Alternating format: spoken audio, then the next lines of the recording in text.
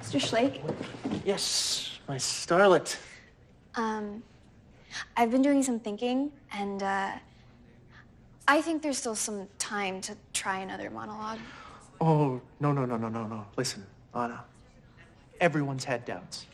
Heck, I've had doubts. I, and I know your confidence in this particular material has has dipped, but Anna, people are gonna remember this one.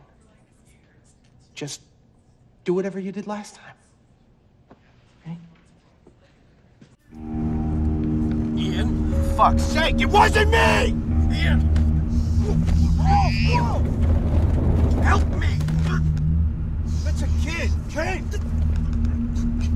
What's your name? Leave her alone! Shut up, what's your name? I'm Ian. Shut up! Just shut up! Shut! Shut up! Everything's gonna be all right. This has all happened before, but it's gonna be okay because I got the jump on him this time. We can finally be free. That's going to kill you. Take me to the hospital. Let's go.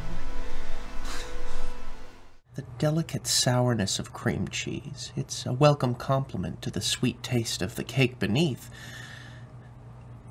But the, the buttercream is divine. Shit, buddy. Are you okay? What? What's wrong? Oh, no, no. What? What's awful shit happened to people? Adelaide did not fully understand the consequences of her actions. She made her choice. And you know because she knew. What choice? You, What does that mean? there is no precedent for you, Cherry Shepard. You know that's bullshit.